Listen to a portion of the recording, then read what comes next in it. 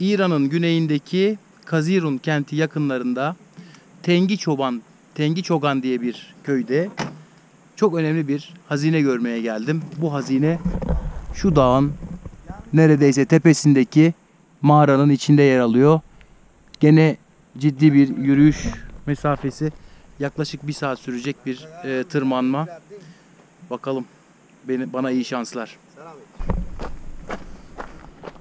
Arkadaşım Ali ile Sağ olun. e, yukarıdaki mağaraya doğru yol alıyoruz. Orada müthiş bir şey bizi bekliyor. Bu arada coğrafyada gerçekten çok güzel. Dağların görüntüsü. Gerçekten muhteşem. Hava da gayet sıcak. Buraya gelmeden yarım saat önce donuyorduk. Yani bu kadar bir iklim değişimi bu kadar çabuk olabilir. Şimdi neredeyse bir yaz havası bir hava içinde bu tırmanışı yapıyoruz. Yetişmek için menzile gidiyoruz bakalım.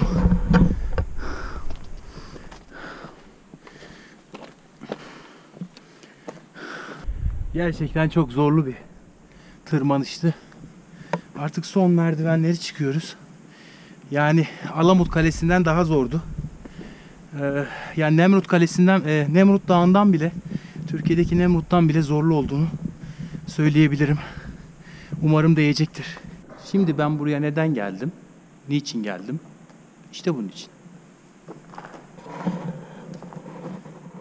Dünyanın insütü vaziyette yani yerinde duran en güzel, en büyük heykellerinden birini görmeye geldim.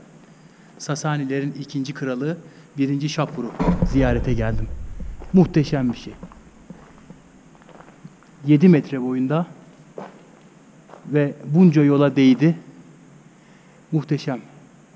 Kendisi yaklaşık 1800 yaşında. 1. Şapur. 2050'lerde yapılıyor.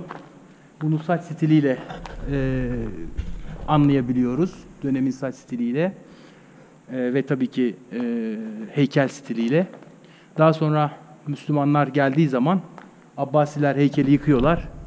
Son dönemde yaklaşık 50 yıl kadar önce de Şah Pehlevi tekrar heykeli ayağa kaldırıyor. Muhteşem bir şey. Çok kıymetli.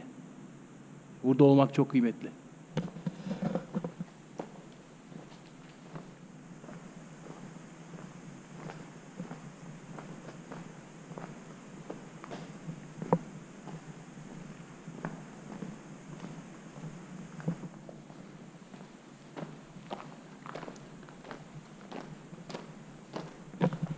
Parçaları halen burada duruyor. Ve gördüğünüz gibi tam da yerine oturtulmamış ayakkabıların üstünde değil ayaklar. Ayakkabıları var orada. Yine de çok ihtişamlı görünüyor.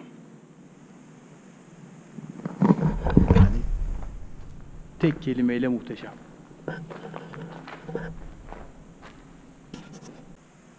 Birinci Şapur'un heykeli mağaranın tam girişinde bulunuyor. Daha sonra mağara biraz daha devam ediyor.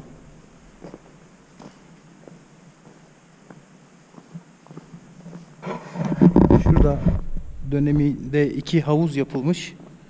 Ee, sanırım gelenler çok zorlu olduğu için e, burasının çıkışı gelenler su içsinler diye muhtemelen mağaradan damlayan sularla doluyordu bu havuzlar. Genişçe bir mağara burası.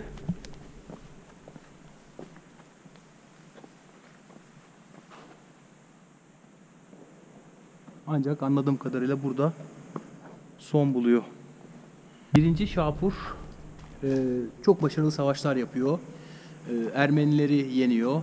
Romalıları bozguna uğratıyor ve e, Antakya'ya kadar buraları hakimiyet altına alıyor ve o yüzden de onun Tanrı tarafından gönderildiğini düşünüyor Sasaniler. Yani Persler de diyebiliriz ve onun için böyle muhteşem bir anıt heykel yapıyorlar.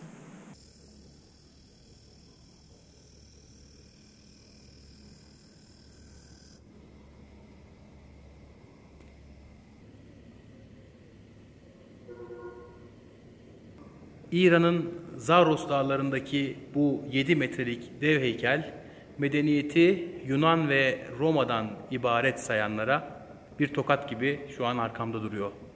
Muhteşem bir şey, muhteşem doğuya ait, bu bölgeye ait muhteşem bir şey. Amerikan sineması sözüm sana. Yunan ve Roma'yı yüceltip Sasani'yi, Persleri, Hititleri, Sümerleri yok sayma. İşte bak burada duruyor. 7 metrelik dev şapur heykeli.